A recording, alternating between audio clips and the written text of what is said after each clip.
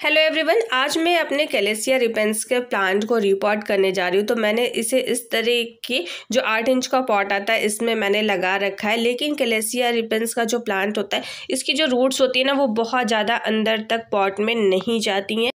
इसकी रूट्स जो होती है वो बस ऊपर ऊपर ही रहती हैं। तो मैंने सोचा कि मैं इसे एक बोनसाई पॉट में डाल देती हूँ। तो ये देखिए, ये मेरे पास एक बोनसाई पॉट है।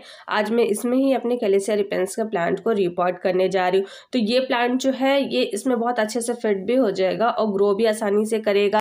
इसको फैलने के लिए जगह भी बहुत अच्छी से मिल जाएगी और आप इसे हैंगिंग बास्केट में भी लगा सकते हैं। तो सबसे पहले मैंने बॉन्साई पॉट पे एक छोटी सी ठिकरी रख दी है, जिससे कि मिट्टी जो है वो बिल्कुल एक बार में ना निकल जाए। और अभी मैं आपको इस प्लांट में से इस तरह मिट्टी निकाल के दिखाती हूँ। आप देखेंगे नीचे बिल्कुल भी रूट्स नहीं पहुँची है। इसकी जो रूट्स होती है ना, वो बस ऊपर ही ऊपर रहती हैं। आप चाहें तो इसको बहुत ईजिली ही इसकी छोटी सी कटिंग भी बस रूट से आप निकाल के इससे लगा सकते हैं। ये देखिए, ऊपर सबसे पहले मैं नीचे से जो इसकी सॉइल है ना, इसको अच्छे से रिमूव कर देती हूँ, क्योंकि नीचे बिल्कुल भी रूट्स नहीं है तो रूट्स को डैमेज होने का कोई खतरा नहीं है। बहुत आसानी से इसकी जो सॉइल है वो निकल जाएगी। तो चारों तरफ़ से जो इसकी सॉइल है, सबसे पहले मैं इसे अच्छे से निकाल दूँगी और फिर मैं इसे स्पॉट में लगा दूँगी। तो जो ये टाइम होता है ना, फरवरी लास्ट या जो मार्च स्टार्टिंग में फिफ्टीन मार्च तक का जो टाइम होता है बहुत अच्छा टाइम होता है। अगर आपको किसी भी अपने प्लांट को रिपोर्ट करना है तो उनके जैसे डाईबैक जान में जाने की या फिर उनके ख़राब होने के जो चांसेस होते हैं, वो बहुत कम होते हैं। ये देखिए, मैंने चारों तरफ़ की उसकी जो मिट्टी है, उसको निकाल लिया। निकालने के बाद इसको मैं हाथों से थोड़ा सा तोड़ लूँगी, थोड़ा सा सॉफ्ट कर लूँगी।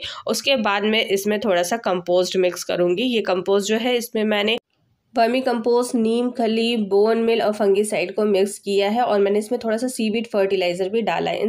इन सबको डाल के मैंने ये फर्टिलाइज़र तैयार किया है। इसको मैंने मिट्टी में मिक्स कर दिया। अब मैं इसको इस तरह से इस प्लांट को इस पर रख दूँगी।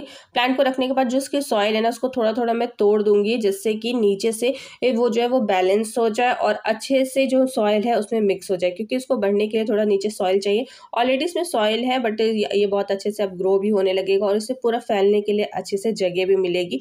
हैंगिंग बास्केट में भी ये प्लांट बहुत अच्छा लगता है, बहुत अच्छे से हैंग करता है। तो कैलेसिया रिपेंस का जो प्लांट है, वो समर का भी बहुत अच्छा प्लांट है, जब आप इसे थोड़ा सेडी एरिया में रखेंगे, और विंटर में भी ये बहुत अच्छे से ग्रो करता है। तो इस तरह से मैंने इसको रिपोर्ट कर दिया, अब मैं इसे अच्छे से पानी दे दूँगी, और मैं इसे थोड़ा सा सेडी एरिया में रखूँगी फुल सनलाइट में नहीं रखूँगी, जिससे कि अच्छे से ग्रो होगा। तो इस तरह से आप भी, अगर आपके पास भी कैलेसिया रिपेंस का प्लांट है तो आप भी उसे बोनसाई पॉट में लगा सकते हैं। तो मेरा आज का वीडियो आपको कैसा लगा? आप मुझे कमेंट बॉक्स में कमेंट करिएगा। अब हम मिलेंगे एक नए वीडियो के साथ। तब तक के लिए बाय